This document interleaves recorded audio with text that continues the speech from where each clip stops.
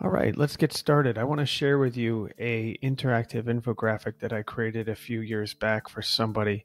Um, I want to share with you what I created, how I created it, um, and why I created it. So let's get started. Interactive infographic um, I created for WatchGuard.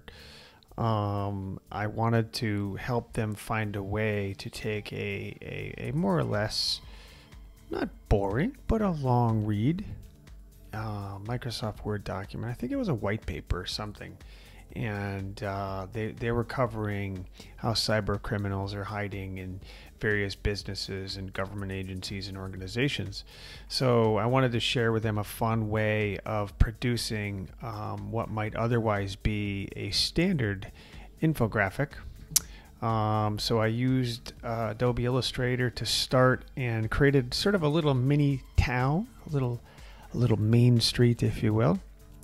Um, so you know, just sort of created a backscape or whatever, and then what what you do is you draw you draw all the components to create your city. And actually, I first sketched it out on a piece of paper roughly, so I had some general idea of what I wanted to do. Shared that with them, just so I'm not wasting time, you know, creating like the hard hat construction company. Um, you know, what do we have here? Because you know we have to correlate the data that they have along with the illustration that, that I create.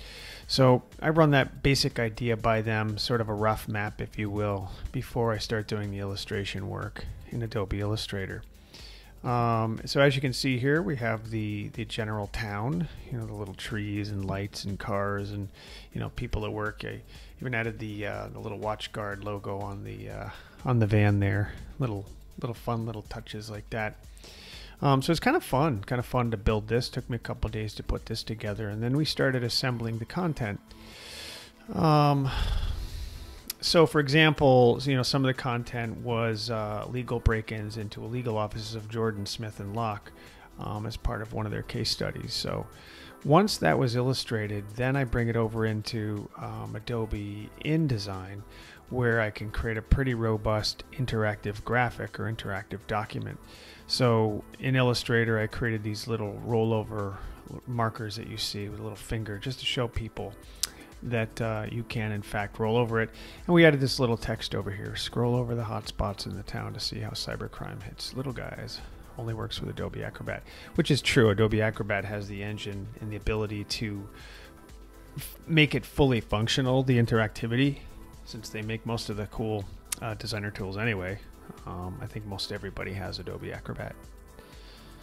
So so that's what we did and then what we do is uh, we create the interactivity in InDesign. We create the rollover here where you can see where you roll over a hotspot and you can read read the content. So you can see this pop up here is this particular data that has to do with um, this Bjorn manufacturing company um, to talk about the um, the security ha uh, hack that happened the uh, um, the zero day vulnerability supply chain management software I think it was but Anyway, this here, so I'll, I'll, roll over each of these and you can see all of the content and data that now you can interact with, which is pretty cool because you can you can absorb it one piece at a time instead of one big long infographic. So we just basically, and you see the little graphics that are that are inside there. Um, the little credit card with a bug on it, you know, create that in Illustrator as well and bring that into these little components. The box that you see there is created in InDesign.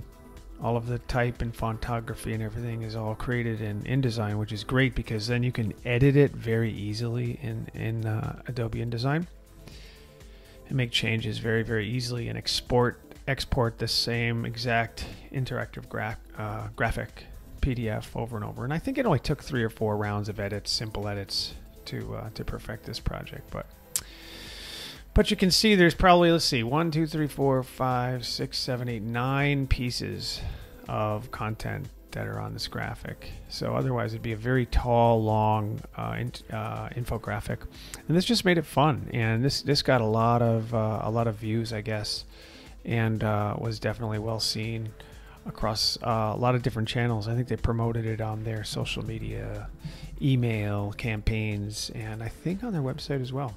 But it's just another fun example, another way to create an interactive, uh, gra- actually not even interactive, another way of creating a great graphic or visual, uh, visual content in an interactive format, which is, I think, way cooler. And you, you know, the beauty too is that it's a, it's a vector graphic. So I'll zoom in here. Whoa, zoom in a little too far there. But if you zoom into any any vector graphic, you can see that it's super high resolution. So you don't have to worry about losing quality. Um, I mean, we could technically drill in here and create a cool video animation of this as well. Um, see, it's just very, very high resolution.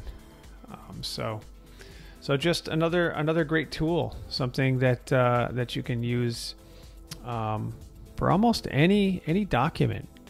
And uh, you know, it seems like it's really complex, and it it really isn't. If you if you know how to work with it and you know how to create it, it's it's really not that much different than an infographic. It might be a little more expensive, but in the end, I think you can really make this get a lot more leverage and a lot more um, depth and exposure than a regular infographic will.